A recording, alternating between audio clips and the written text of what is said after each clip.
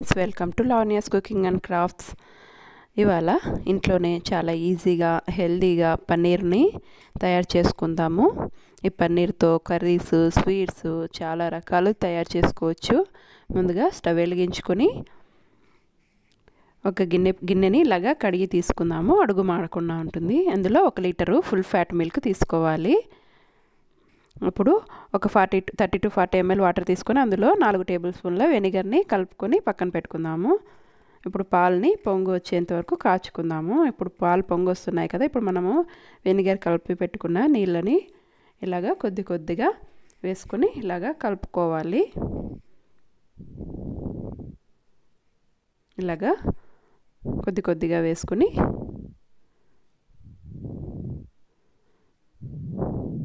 కలుపుకుంటూ ఉండాలి. అడుగు మాడకుండా చూసుకోవాలి. అడుగు మాడితే పన్నీరులోకి అడుగుదంతా నల్లగా వచ్చేస్తుంది. అలా రాకోకుండా అడుగు మాడకుండా చూసుకోవాలి.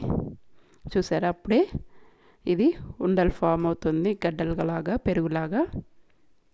తర్వాత ఇప్పుడు మనము దీన్ని స్టవ్ మీద పెట్టుకొని అలాగే ఉంచుకోకూడదు. ఇలాగా పక్కకు పెట్టుకుంటే సాఫ్ట్గా ఉంటుంది. ఇప్పుడు దీన్ని ఒక పది నిమిషాలు ఒక అరగంట సేపు పక్క నుంచేస్తే బాగా ఇలాగా అంతా గట్టి పడుతుంది. ఇప్పుడు దీన్ని ఇందులో ఉన్న నీరంతా ఇలాగా ఒక క్లాత్ తీసుకొని ఫిల్టర్ తీసుకొని ఇలాగ ఒక క్లాత్ తీసుకొని అంతా ఇలాగా ఒడిపోసుకోవాలి. నీళ్ళు ఏవి లేకోకుండా ఇలాగా గట్టిగా పిండుకోవాలి.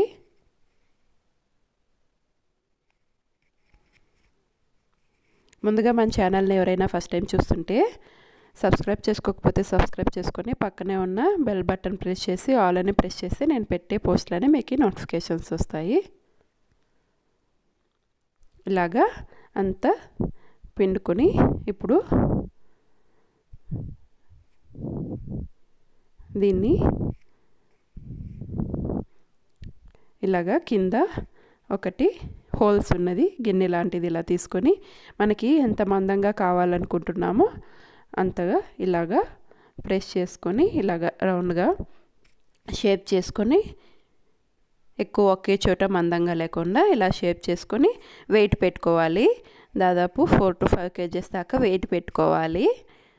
ఈ హోల్స్లో నుంచి అదంతా కారిపోతుంది అనమాట అలాగా ఒక ఒక గంట సేపు రెండు గంటల సేపు అలాగే ఉంచేసి వదిలిపెట్టేయాలి ఆ తర్వాత చూడండి ఒక రెండు గంటల తర్వాత చూస్తే మనకి పన్నీరు రెడీ అయిపోయిందండి.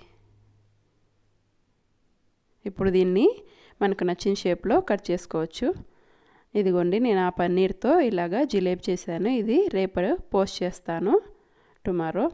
ఇలాగా మనకి నచ్చిన షేప్లో కట్ చేసుకోవచ్చు. నచ్చిన చేసుకోవచ్చు కర్రీస్ స్వీట్స్ ఇంకా ఏవైనా చేసుకోవచ్చు. స్నాక్స్. ఆల్రెడీ మన ఛానల్లో పన్నీర్ రెసిపీ ఉంది. చూడండి ప్లేలిస్ట్లో ఇలాగా కట్ చేసుకొని ఇదంతా జిప్లా కవర్లో పెట్టేసుకొని ఫ్రిడ్జ్లో పెట్టుకొని స్టోర్ చేసుకోవచ్చు. దీన్ని ఒక పది పదిహేను రోజుల దాకా నిల్వ ఉంచుకోవచ్చు. నచ్చిందా అని నచ్చితే లైక్ చేసి షేర్ చేయండి మీ ఫ్రెండ్స్కి రిలేటివ్స్కి. Thanks for watching.